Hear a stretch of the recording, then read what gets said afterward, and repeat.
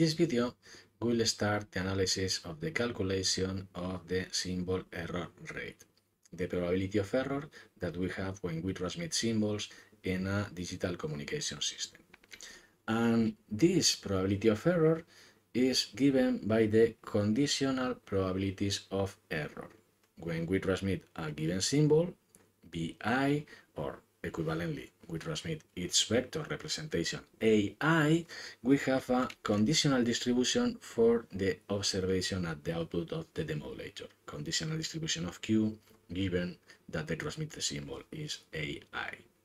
It is possible to define the conditional probability of error as the probability of error that we have when we transmit a given symbol. We will have an error when the decided symbol is different than the transmitted one.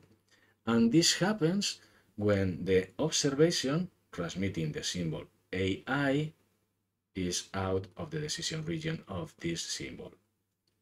And the probability of this situation can be obtained by integrating out of the decision region of the symbol of index i the conditional distribution of the observation given this symbol.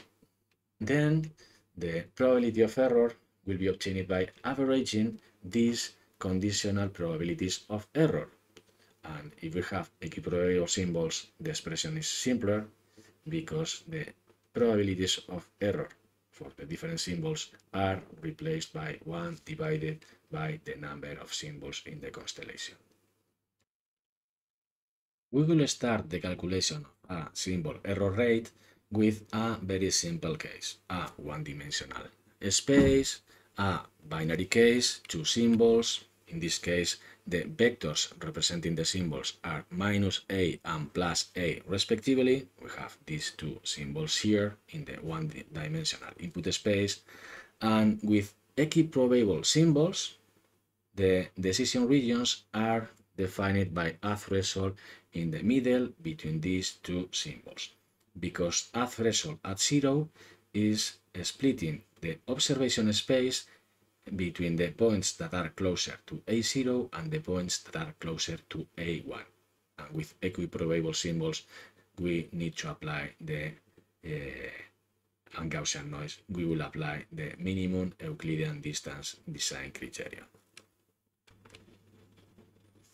The symbol error rate will be obtained by averaging the conditional probability of error when we transmit A0 and the conditional probability of error when we transmit A1.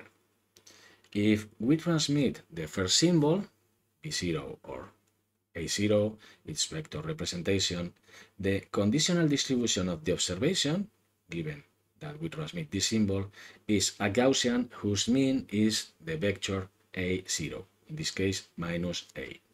And we need to integrate this Gaussian distribution out of the decision region of A0 we need to integrate it in the decision region of A1. This integral is equivalent to the area that we have in blue in this picture. We will use the Q function to obtain the integral for this Gaussian distribution and we will have Q of, in the numerator, the distance between the mean of the Gaussian and the threshold, which is A, and denominator a standard deviation of the Gaussian distribution. In this case, a square root of the variance, a square root of n0 halves. If we transmit the second symbol, B1 or vector representation A1, the conditional distribution of the observation is now a Gaussian distribution with mean equal to A1 equal to plus A. It is necessary to integrate this distribution out of the decision region of A1 for negative values in this case. And again, the integral can be obtained by means of the Q function. The distance to the threshold is the same one that in the previous case is a, and at the denominator square root of n0 halves. So the two conditional probabilities are equal in this case. Here we have a visual representation of the probability of error because here we have one half of the conditional distribution given A0 and here we have one half of the conditional distribution of the observation given A1 and the probability of error is one half the integral of the first one plus 1 half the integral of the second one. This corresponds to the blue area that we have here plus the red area that we have here.